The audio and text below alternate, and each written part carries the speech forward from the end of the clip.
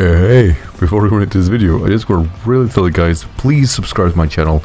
It can't my notice that, unfortunately, only 25% of the people who watch my stuff are subscribed.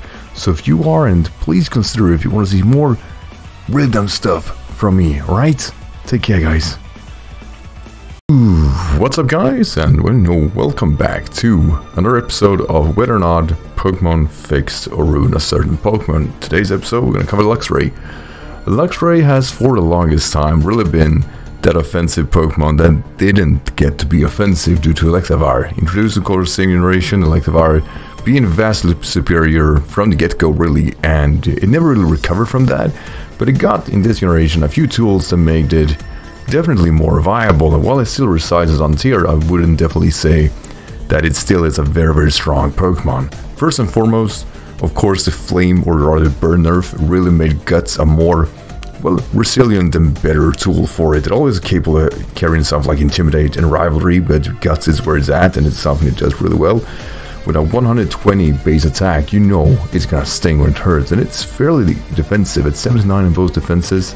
It is the speed, it kind of holds it back a little bit at 70, uh, which in essence has been remedied because it got access to agility, which all of a sudden makes sure that you can run guts and you can run agility and pretty much negate whatever um, that of course its speeds already decides. It also carries yourself to be able to use something like adamant to really boost yourself to a very very strong attack stat as agility pretty much ensures you outspeed 110 uh, Scarfers, which is fine in most scenarios.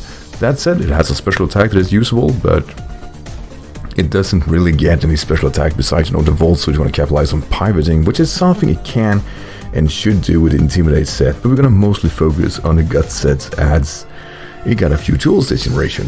While Wild Charge is its main bread and butter offensively, it also got Play Rough and it got Throat Chop.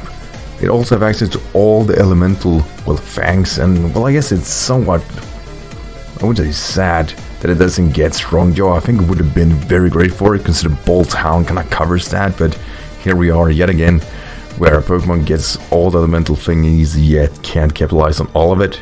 And also got Psychic Fang, or Psy-Fang.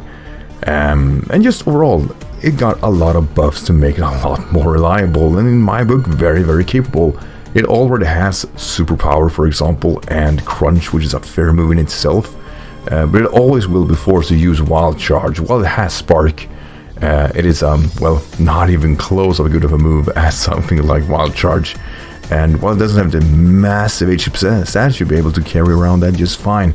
So, in which scenarios do Luxray work? Well, it doesn't, of course, um, work like your standard electric type. It doesn't have the speed, it doesn't have the special attack, and it doesn't have necessarily all the capabilities of a U-turn to pivot around.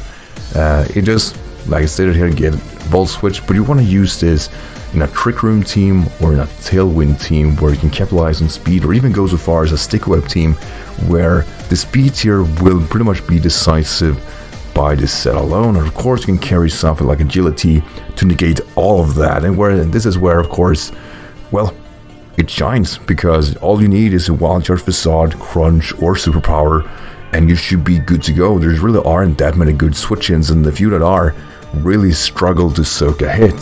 While, like I said, it is not the most offensive Pokemon out there, it is one of the few mons that, due to the burn not carrying you down as far as the daily Imperial generation, with only being 1 of 16 of damage, it also can't stomach a hit and retaliate, and now being able to possibly outspeed and get two hits in, yeah, it's a nasty mon. Superpower of work against it, you know, dropping both attack and defense, but there is, well, very much upside to that. I mean, Take this contrast, Steelix is 2-hit KO'd by this scenario. Uh, while it will lose the matchup, just that it can 2-hit KO it is, in my book, an absolute win.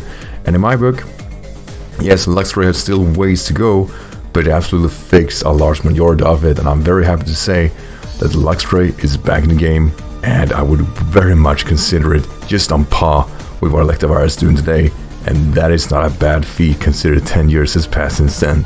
So that said, what Pokemon do you want to see covered, fixed or ruined? I'll cover them both. And with that said, I'll see you guys in the next video. Till then, take care, one right.